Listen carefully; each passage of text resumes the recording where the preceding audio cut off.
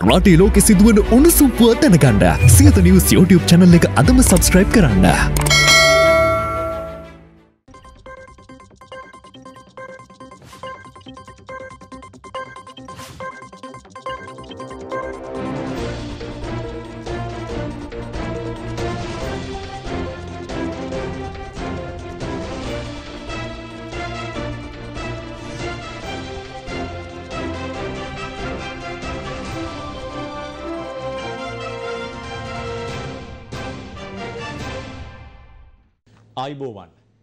කාලීන තොරතුරු වාර්තාකරණයේ අංක එක හරිදේ හරියටම කියන සියත රාත්‍රී පුවත් විකාශයයි මෙලෙසින් ආරම්භ වන්නේ.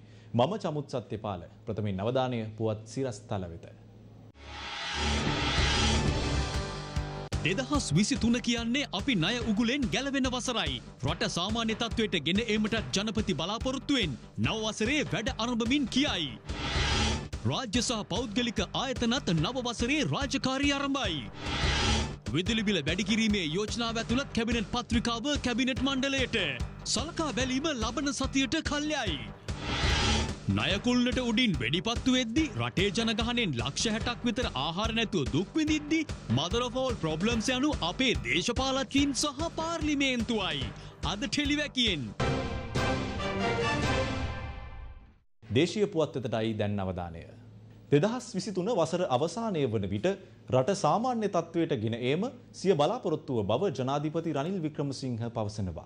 මේ වසර රට ණය උගුලින් ගලවා ගන්නා වසර බවයි ජනාධිපතිවරයා පෙන්වා දෙන්නේ. එමෙන්ම තමන්ගේ වැඩ කටයුතු දවසේ පෑ අටටත් සතියේ දින පහටත් සීමා කරන්න එපා කියලා ජනාධිපතිවරයා රාජ්‍ය නිර්ධාරීන් හමුවේ ප්‍රකාශ කර සිටියා. ඒ දෙදහස් විසිතුන නව වසරේ වැඩ ආරම්භ කරමින්. අපි අපේ ආර්ථික ප්‍රශ්න සියල්ලම විසඳලා නැහැ. නමුත් අද ඉන්ධන සඳහාත් ආහාර සඳහාත් පෝර සඳහාත් වුවමනා ප්‍රමාණය අපිට ලබා දෙන්න අවස්ථාවක් ඇති වෙලා තිබෙනවා. විශ්ව විස්තුන වර්ෂය තමයි වැදගත්ම වර්ෂය වෙන්නේ. අපේ ණය උගුලෙන් බේරිලා ණය ප්‍රතිව්‍යගත කරලා අපි ඉදිරියට යන්න. අද තියෙන පාලන යන්ත්‍රයත් දේශපාලන යන්ත්‍රය ගැන ඒ තියෙන ප්‍රශ්න විසඳන්ට හැකි අලුත් ක්‍රමවේදයක් අපි ඉදිරිපත් කරන්නට තරඟකාරීත්වයක් ඇතිවෙන්ට බැහැ කම්බෑදිල්ලක් ඇතිවෙන්ට බැහැ තමන්ගේ වගකීම සීමා කරගන්නට බැහැ රටේ මූලික ප්‍රතිපත්ති මාලාව ක්‍රියාත්ම කරන්නට හැම එක්කෙනාම බැඳලා තියෙනවා. මම එක කාරණයක් කියන්න කැමතියි. තමන්ගේ වැඩ කටයුතු දවසේ පැය 8කට සීමා වෙන්නේ නැහැ තමන්ගේ වැඩ කටයුතු සතිය දවස් පහකට සීමා වෙන්නේ නැහැ. මේ ස්ථානයේ ඉන්න හැම එක්කෙනාම අපි කැප වෙලා වැඩ කරමු. විශ්ව විශ්වන අවසන් වෙනකොට මේ රටේ සාමාන්‍ය තත්ත්වයක් ඇති කරමු කියලා බලාපොරොත්තුෙන් මම ඔබ සියලු දෙනාගේම සහයෝගය ඇතුව මේ රට ඉදිරියට ගෙනියන්න බලාපොරොත්තු වෙනවා. නව වසර සඳහා රාජකාරී කටයුතු නිල වශයෙන් ආරම්භ කිරීම අද දින රට පුරා සිදු වුණා. රාජ්‍ය සහ පෞද්ගලික ආයතන මෙන්ම වෙළඳ ව්‍යාපාරික ස්ථානද උදැසන කිරි උතුරුවා නව වසරේ රාජකාරී ආරම්භ කළා. Voice of Asia මාධ්‍ය ජාලයද දෙදහස් විසිතුන්න නව වසරේ රාජකාරී සුබ මොහොතින් අද උදෑසන ආරම්භ කරනු ලැබුවා. දෙදහස් විසි තුන නවවසරේ රාජකාරී කටයුතු නිල වශයෙන් ආරම්භ කෙරෙන්නේ අද දිනේදී. එ අනුව අද උදෑසන කාලයේදී රාජ්‍ය පෞද්ගලික සංස්ථා ඇතුළු ආයතන මෙන්ම වෙළඳ ව්‍යාපාරික ස්ථානද නිල වශයෙන් සිය රාජකාරයේ කටයුතු ආරම්භ කිරීම දක්නට ලැබුණා. වයිසෝෆේෂයා මාධ්‍යචාලය අද උදෑසන නවවසර සඳහා රාජකාරී කටයුතු ආරම්භ කිරීම මෙලෙස සනිටුහන් කරනු ලැබවා. වයිසෝෆේෂයා මාධ්‍යචාලයේ ගරු සභහපති රෝෂාන්ත කාරය පෙරුම මැතිතුමා ප්‍රමුඛ අධ්‍යක්ෂ මණ්ඩලේ පූර්ණ ආශිර්වාද සහිතව අද උදෑසන කිරි උතුරවා නිල වශයෙන් රාජකාරී ආයතන පරිශ්‍රයේදී මෙලෙස ආරම්භ කරනු ලැබවා.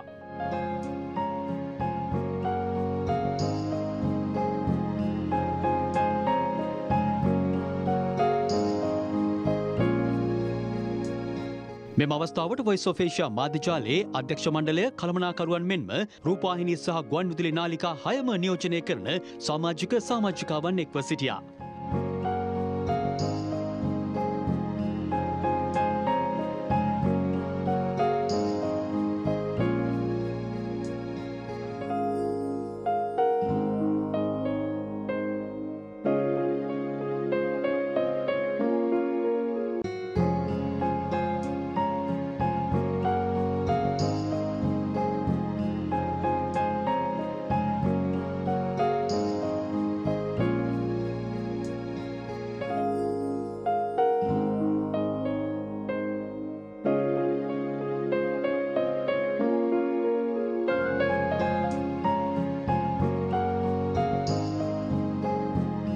ඔබට මතකයි පසුගේ කාලය මුළුල්ලේම අප බොහොම සාර්ථක ගමනක් පැමිණියා. මේ සාර්ථක ගමන පැමිණියේ රෝසමල් යහනාවක් මතින් නෙවෙයි අප මේ ගමන පැමිණියේ බොහොම දුෂ්කරතා මැද්දේ. නමුත් අද අපට කියන සතුටුයි අද රට පුරා කටින් කට කියවෙන නමක් බවට පත්වීමට අපට හැකියාව ලැබී තිබෙනවා ඒ ඔබගේ කැපවීම ඒවගේම ඔබගේ දායකත්වය සහ ඔබගේ උත්සාහයන් නිසා තමයි අපට මේ තත්ත්වයට මේ මාධ්‍යජාලය ගෙනනට හැකියාව ලැබුණේ. let's uh, work extremely hard. We can do it because I, as I always tell you all, TV, FM, we need to think out of the box. Creativity will be the winner. So let's do something different. So best example is uh, look at our news. After Mr. Mahalage come in, we introduced something called Televakia. That has captured, you know, people. I'm just saying it has reached more than millions of people, not only in Sri Lanka, aclo- across the globe. So that's a unique thing. That's a creative concept. So let's always think out of the box.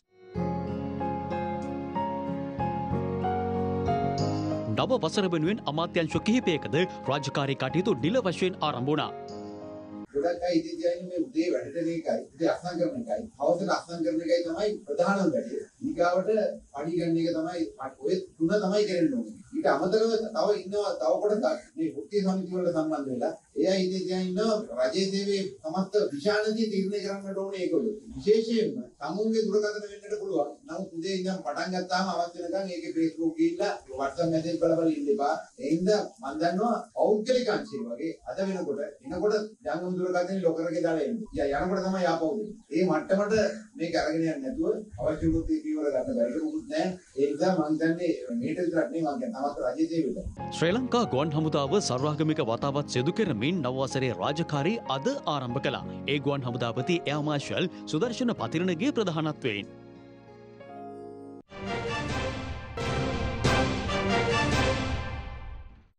ජාතික ඉතිරිකිරීමේ බැංකුව ලංකා බැංකුව සහ ශ්‍රී ලංකා ඉන්ශූරන්ස් ආයතනය අද දෙදහස් විසිතුන නව වසරේ රාජකාරී ආරම්භ කළා. ලංකා බැංකුව නවවසරේ රාජකාරි කටයුතු අද පෙරවරුවේ ආරම්භ කළා. ඒ ලංකා බැංකු ප්‍රධාන කාර්යාල පරිශ්‍රයේදී. මෙම අවස්ථාවට ලංකා බැංකුවේ සභාපති කංචන රත්වත්ය ඇතුළු නිලධාරින් පිරිසක් එක්ව සිටියා. where all our customers are affected. We do understand our customers are affected. And also, if you would understand that our deposits have by December all been repriced. So the cost of funding of Bank of Ceylon, with all the projections that were made prior to these two developments, if you look at the LKR 202, which went up to 380, and also the interest rates that were below 10, which went up to 30, now it's a totally different situation and a different scenario that we have to deal with. This is what Bank of Ceylon faced on us. ශ්‍රී ලංකා ඉන්ශූරන්ස් ආයතනයේ හැට එක්වන සංවත්සර සැමරුම සහ නවවසරේ රාජකාරී ආරම්භ කිරීම අද සිදු කෙරුණා. ඒ ශ්‍රී ලංකා ඉන්ශූරන්ස් ආයතන පරිශ්‍රයේදී. මෙම අවස්ථාවට ශ්‍රී ලංකා ඉන්ශූරන්ස් ආයතනයේ සභාපති රොනල් සී පෙරේරා ඇතුළු නිලධාරීන් පිරිසක් එක්ව සිටියා.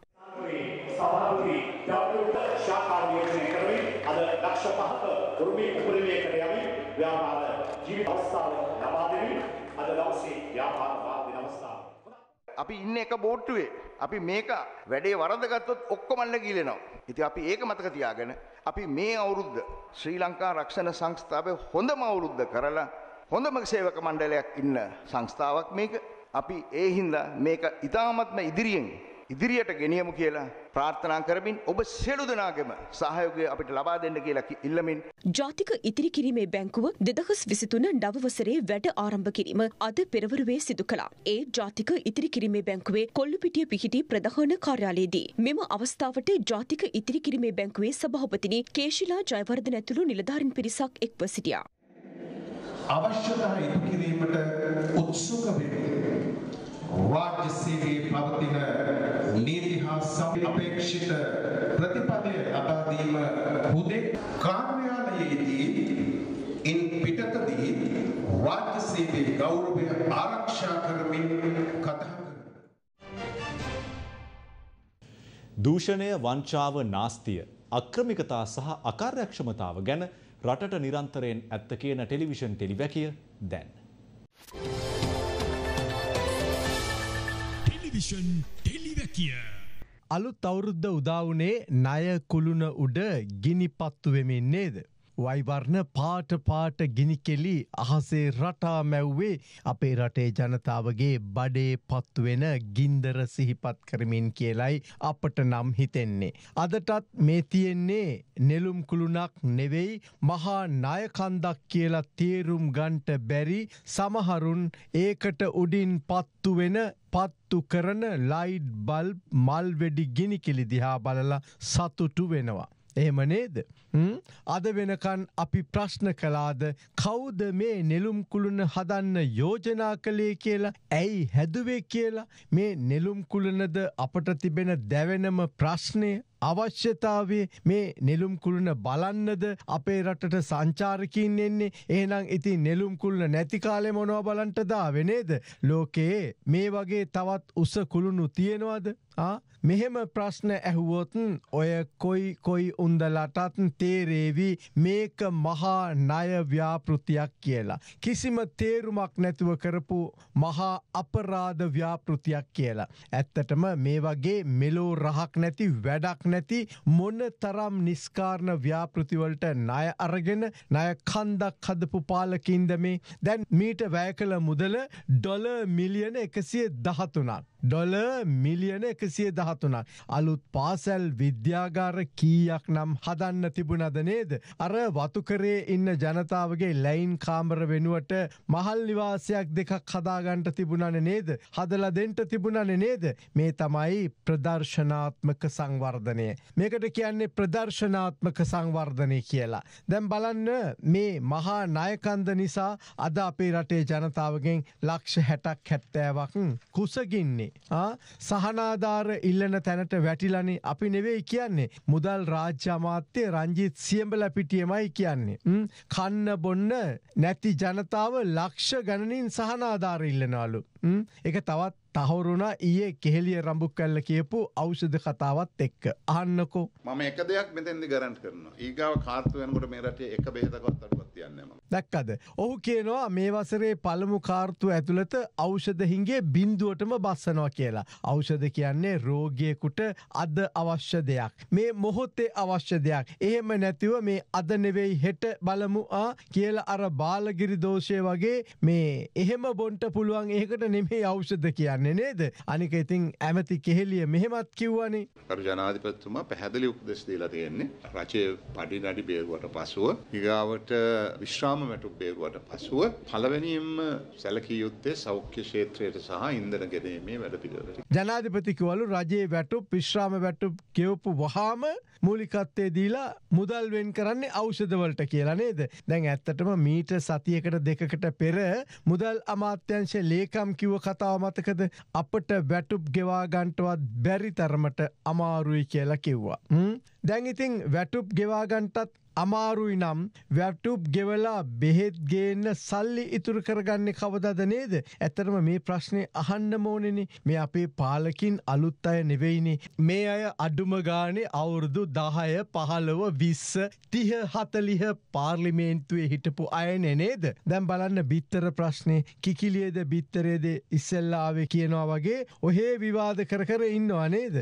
පනස් පහද හැත්ත පහද තිස් පහද නේද. ලොකු විවාදයක්. හරිද දැන් මේ වගේ මේ තර්ක විතර්ක විතරක් අහලා අපිට ඇති වෙලා තියෙන්නේ. ඇමති අමරවීර කියනවා මට බිත්තරදාන්න බෑ කියලා. ඉතින් බිත්තරදාන්න පුළුවන් වුණා නම් කිකිලිත් තරම්වත් වටිනවනේ නේද? ආ ලොරි අරගෙන රටවටේ බිත්තර බෙදන්ට යන්න හදනවා. අන්න එතන තමයි ගේම තියෙන්නේ. මේ අතර වාරයේ සමහරු ඉන්දියාවෙන් හෝ වෙන රටකින් බිත්තර ගේන්න ප්ලෑන් ගහනවා. ඔන්න බිත්තර මාෆියාවක් හදාගන්න හදන්නේ. අපි හිමින් සිරියේ බලාගෙන ඉමු කවුද මේ බිත්තර ගෙන්නන්න හදන රන් කුකුලා කියලා නේද? දැන් ඇත්තටම මේ අහන්නකෝ. රජයේ එක පැත්තකින් වියදම් අඩු කරන්න චක්‍රලේක ගහනකොට අනි පැත්තෙන් ඔය ගිනි කෙලි සංදර්ශන වලට මේ මල් වැඩිවලට වියදං කරනවා නම් ඒක මාර ප්‍රශ්නයක් නෙනේද ඒ වගේම දැන් ඖෂධ බොන්න ඕනේ ඖෂධ ගන්න ඕනේ ඖෂධ ඕන වෙන්න රෝගීන්ටනේ. හෘදයාබාධවලට භාවිත කරන ඇස්ප්‍රීන් පෙත්තේ ඉඳලා හිඟයි. තව මාස තුන හතරක් බලා ඉන්න පුළුවන්ද? මේ හිංගේ අවසන් වෙනකන්නේද බැහැනි මේකට කඩිනම් උත්තරයක් අවශ්‍යයිනේ. රජයේ වැටුප් ගෙවලා විශ්‍රාම වැටුප් ගෙවලා බෙහෙත් ගේනකොට ලෙඩ්ඩු අවසන් ගමන් ගෙහිල්ල තියේවි. ඇ ඉළඟ කාරණය බලන්න බිත්තර ප්‍රශ්නය දැම් මේ තාක් රටේ නොතිබුණ ප්‍රශ්නයක් නනේද බිත්තර ඇත්තිබුණ රුපියල් දොළහට පහලෝකට ඉතර දැන් අද පනස් පහයි හැත්තෑවයි අතර නේද. ඇයි දැන් මෙහෙම වෙන්න කියලා ගණන් හදන්ට එපායයි හොයල බලන්ට එපායයි බිත්තර නිෂ්පාදනය අඩු වෙලාද. බිත්තර නිෂ්පාදන වියදම වැඩි වෙලාද. එහෙමත් නැත්තං මේ හෝගාල මේ බිත්තර ඉල්ලුම වැඩි වෙලා වෙලාද කාරණය නිවැරදිව අධ්‍යයනය කරන්නේ නැතිව මට බිත්තර දාන්න බෑ. මට පුළුවන් බිත්තර නිෂ්පාදනය විතරයි. මිල මම දන්නේ නෑ. මේ ජාතියේ විහිලු කතාවලින් ඇත්තටම මේ රටට වැඩක් නෑ. ඉළඟට බලන්ඩ විදුලි ඇමති නේද? කට ඇරියොත් පාඩුයි. වැඩි කරන්ට වෙනවා. ආව දවස ඉඳලම කියන්නේ ඔය ටිකමන නේද. පාඩුව අවම කරන්න පුළුවන් ක්‍රම ගැන විශේෂක්ෂ දැනුම ගැන. මේ වෙනකං අත තිබෙනෑ හෙව්වෙනෑන නේද? මේ හැමෝම බලන්නේ ජනතාව එක්ක සෙල්ලම් කරන්න ජනතාව ගොනාට අන්දන්න නේද? දැම් බලන්න හිටපු මහබැංකෝ අධිපති අජිත් නිවාඩ කබ්රාල් සහ දැන් ඉන්න එක්කෙන ආචාරය නන්දලාල් ඒ දෙන්නා කතා දෙකක් කියමින් ඉන්නවා නේද? හිටපු මහබැංකෝ අධිපති කියන මොකක් දෙයා කියනවා පොලි අඩු කරන්නට ඕනෙලු. ඩොලරේ එයාගේ කාලි වගේ ෆ්‍රීස් කරන්න ඕනෙලු. එතර මහබැංකෝ අධිපති දැන්ඉන්න කෙනා මොකද කියන ආචාරය නන්දලාල් ඔහු කියනවා ඔහු පොලිය අඩු කරනවා උද්ධමනයත් අඩු කරනවා කියලා. දැන් අපට අහන්න තියෙන්නේ කොහොමද කරන්න කියලයි. මේ සියල්ලු දෙනාම එක එක ජාතිය කතා කියමින් ඉන්නවා. මේ එකදු කතාවකවත් අදාළ විෂය පිළිබඳ ඥානාන්විත විග්‍රහයක් නෑ. හරද සියල්ලු විසඳුම් ඇත්තේ ඇහින්දාස්ලා ළඟ. ඇතරම් බලන්න සීනිබදු වංචාව මහබැංකු වංචාව අපෙන් ගිලිහුණු මොනෝරේල් හෙවත්න් සැහැල්ලු දුම්රිය ව්‍යාපෘතිය අසීමාන්තික ලෙස අරගත්ත ණය මේ සියලු ප්‍රශ්නවලට හේතුවයි. අපි අද මුහුණ දෙන සියලු ගැටලුවලට හේතුව අසීමාන්තික ලෙස ගත්ත ණය. ඒ සියලු ණය සඳහා අනුමැතිය දෙන ඒ සියලු ණය සඳහා මූල්‍ය බලය ඇති තැන තමයි මේ සියලු ප්‍රශ්නවලට ඇත්තම කිව්වොත් වග කියන්ට ඕනේ ඒ පාර්ලිමේන්තුව නේද. අප එහි යවා ඇති දූෂිත දේශපාලනක්ඥීන් මෙ අය තමයි ප්‍රධානම ප්‍රශ්නය. ප්‍රශ්නවලට උත්තර හොයන තැන ඒ ඉන්න අයට උත්තරතියා සමහරුන්ට ප්‍රශ්නවත් තේරෙන්නේ නෑ හොඳේ අර ඉංග්‍රීසි කියමනක් තිබෙනවා මදර all ප්‍රබ්ලම්ස් කියලා. අපේ නම් ඇත්තටම මේ මදර all ප්‍රබ්ලම්ස් යනු මේ පාර්ලිමේන්තුව බව අමුතුවෙන් කියන්ට ඕනේ නෑ. අද ටෙලිවැකිය අවසන් කරන්නේ මදර all ප්‍රබ්ලම්ස් යනු අපේ දේශපාලනක්ඥින් බව සහත්තික්ක කොට ලියා තබමිනුයි. කයිවාරු වලින් රට ගොඩනැගිය නොහැකි බව විපක්ෂ නායක සජිත් ප්‍රේමදාස පවසනවා. නිවැරදි කණ්ඩායමක් නිවැරදි චින්තනයක් ඔස්සේ රට ගොඩනැගිය යුතු බවයි ඔහු පෙන්වා දෙන්නේ. විපක්ෂනායක සජිත් ප්‍රේමදාසගේ සංකල්පයක් මත ක්‍රියාත්මක සක්වල වැඩසටහන හරහා පනස් හයවන බස්රථය ගාල්ල උඩුගම ජාතික පාසලට පරිත්‍යාග කිරීම අද සිදු කළා. ඒ විපක්ෂනායක සජිත් ප්‍රේමදාසගේ ප්‍රධානත්වේ. දෙමාපියන්ට බරක් නොවේ ඉස්ත කරන්න. මේ රට ගොඩ ගැනීම බොහොම අමාරුයි. හැබැයි ඒ දේ කරන්න පුළුවන්. ඒ දේ කරන්න පුළුවන් කොතනකින් හරි ලෝකයේ කුමන රටකින් හෝ රටවල් ගණනාවකින් හෝ ආධාර උපකාර අරගෙන රට ශක්තිමත් කරන්න පුළුවන් නායකත්වය. අපි ඔප්පු කල්ලා තියෙනවා සක්වල හුස්ම වැඩ සටහන් කරන්න අපිට ජනාධිපතිවරු වෙන්න ඕනේ නැහැ. අපේ ශබ්දකෝෂේ මනුස්සකම තියෙන.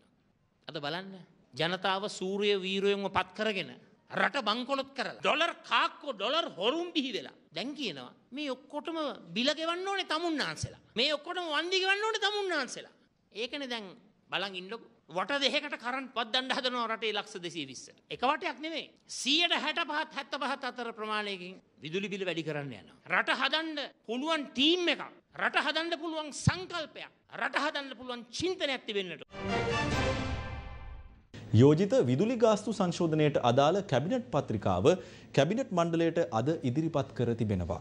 එය සලකා බැලීම ලබන සතියට කල් දමා ඇති බවයි වාර්තා වන්නේ. නව වසරේ පළමු අමාත්‍ය මණ්ඩල රැස්වීම අද පසරුවේ රැස්වුණා. මෙම අමාත්‍ය මණ්ඩල රැස්වීමේදී නව විදුලිගාස්තු සංශෝධනයට අදාළ යෝජනාව ඉදිරිපත් කළද අදාළ යෝජනාව සාකච්ඡාවට ගැනීම මීළඟ අමාත්‍ය මණ්ඩල හමුවතෙක් කල් දමා තිබෙනවා. නව විදුලි ගාස්තු සංශෝධනයට අනුව ඒකක බින්දුවත් තිහත් අතර විදුලි පාරිභෝගිකයන්ට විදුලි බිල සියට එදහස් දෙසියකින් පමණ ඉහළ යනු ඇති බවයි මහජන උපයෝගිතා කොමිසමේ සභාපති ජනක රත්නායක පවසන්නේ. කැබිනට් එකට දාලා තියෙන ටැරිෆ් එකේ බැලුවොත් එහෙම මේකේ තියෙන්නේ හුඟක් වෙලාවට ඉතාම අසාධාරණ ක්‍රමවේදයක්. ඒකට හේතුව තමයි මේ රටේ ඉන්න ලක්ෂ 50ක් විතර වෙන ඉතාම අඩුවෙන් විදුලිය පරිභෝජනය කරන පරිභෝගිකයන්ගේ විදුලි ගාස්තු වැඩි කිරීම සඳහා තමයි මේක යෝජනා කරලා තියෙන්නේ. විශේෂයෙන්ම බිඳුවත් 30ත් අතර. ඒ කියන්නේ 30ට වඩා අඩු විදුලි ඒකක ප්‍රමාණයක් පාවිච්චි කරන ලක්ෂ 17ක් විතර වෙන පාරිභෝගිකයන් මේ කට්ටිය 1200ක ප්‍රමාණ ප්‍රමාණයකින් විදුලි ගාස්තු වැඩි කරන්න යනවා. ඒ වගේම 60ට 90ත්. 120ට වඩා අඩු අඩුවෙන් පාවිච්චි කරන සියලුම පාරිභෝගිකයන්ගෙන් බිලියන 100කට වඩා වැඩි ප්‍රමාණයක් මුදල් ලබන අවුරුද්දේ අය කර ගැනීමේ ක්‍රමවේදයක් තමයි මේ අලුතෙන් යෝජනාවලියේ තියෙන්නේ. නිසා අපි බලාපොරොත්තු වෙනවා මේ යෝජනාව වැරදි විදිහට කැබිනට් මණ්ඩලයෙන් ආවොත් එහෙම ඒක නිෂ්ප්‍රභා කිරීමට ප්‍රතික්ෂේප කිරීමට. ඒ පිළිබඳ කිසිම දෙයකට අපි පැකිලෙන්නේ නැහැ. විදුලි බිල ඉහළ දැමීමට කටයුතු කළහොත් රටපුරා අරගල කරන බවයි ලංකා විදුලි බල මණ්ඩලයේ ඒකාබද්ධ වෘත්තීය සමිති සන්ධානයේ කැඳවුම්කරු රංජන් ජයලාල් පවසන්නේ. ලංකා විදුලි බල මණ්ඩලයේ රටපුරාම උතුරු දකුණු නැගෙනහිර හැම වැඩබිමක් ඉදිරිපිටම ජනතාව වෙනුවෙන් අපි අපේ අප්‍රසාදය විරෝධය මේ තක්කඩි ආණ්ඩුවට ප්‍රකාශ කරන තීන්දුවක් කරන් තිබෙනවා. ඕක් අවුට් එක කළත් පැය කිහිපයක් අපි ආණ්ඩුවට දෙනවා ගත්ත තීන්දුව අකුල ගන්න. අකුල ගත්තේ නැත්නම් සමස්ත රටේ ජනයා පාට බහින්න ලෑස්ති. පාලකයෝ මේ අය ක්‍රමේ ඉදිරිපත් කරන යන ක්‍රමවේදය අපි කිසිසේත්ම අනුමත කරන්නේ නැහැ. සියලුම බර මේ රටේ අහිංසක පාරිභෝගික ජනතාවට පටවනවා නම් ඒකට සම්පූර්ණයෙන් විදුලි ඉංජින සංගමයේ විදියට කොන්දේසි විරහිතම විරුද්ධ වෙන බව ප්‍රකාශ කරනවා. විදුලි බිල ඉහළ දැමීමට එරෙහිව 69 ලක්ෂයක මහජන පෙත්සම් අත්සන් කිරීම අද කොටුව දුම්රියපල ඉදිරිපිට සිදු කෙරුණා. ඒක ඇමතිවරයාගේ ආත්මාර්ථකාමී ජනවෛරී මතයක් මිස කැබිනට් මණ්ඩලයට ඉදිරිපත් කරන නීත්‍යනුකූල මතයක් නෙවෙයි. ඔබ මේ අත්තනෝමතිකව ගන්න පියවර වහාම නවත්තන්න කැබිනට් මණ්ඩලයේ තීරණයක් දුන්නොත් විදුලිය බිල වැඩි කිරීම සඳහා ඇමතිවරයා ගන්නා මේ නිගමනය අනුමත කළොත් මේ අමාත්‍ය මණ්ඩලයක් ජනතා ද්‍රෝහී අමාත්‍ය මණ්ඩලයක් වශයෙන් අපට නම් කරන්න සිද්ධ වෙනවා. ඇමතිවරයාට අපි කියන්නේ වහාම මේක අකුල ගනින්. ඒ වගේම කැබිනට් මණ්ඩලයේ ඉන්න අන්ධ ගොළු බුහිරි අනිත් එවුන්ට අපි කියන්නේ මේක වහාම අකුල ගනින්. ඡන්දෙ ඉල්ලගෙන. උඹලා එක එක්කවත් එන්න එපා ගම් වලට. මේ සියලු ගම් වල ඉන්න විදුලි පාරිභෝගිකයෝ. ආණ්ඩුව මේක සම්මත කරොත් රටින් අපි ඔබට සියලු ජාත්‍යන්ත්‍ර සංවිධාන දැනුවත් කරනවා අකුල ගනි නැත්තම් පළවෙනි අරගලයට වඩා දරුණු ඛේද වාචකයකින් ජනාධිපති සිට සීලු දෙනාට ගෙදර යන්න වෙනවා කියන එක පැහැදිලිව කියනවා. ඒ පුවතත් සමගින් සියත රාත්‍රී පුවත් විකාශය නිමාවට පත්වෙනවා යළිත් අප ඔබ හමුවන්නේ හෙට උදැස්සන පුවත් විකාශය සමගින් ඔබ සැමට සුවදායි රාත්‍රයක්. දෙනපතා අලුත් වීඩියෝ සහ ප්‍රවෘත්ති නැරඹීමට ඉහත බටන එක කලික් කර සියත TV සබස්ක්‍රයිබ් කරන්න.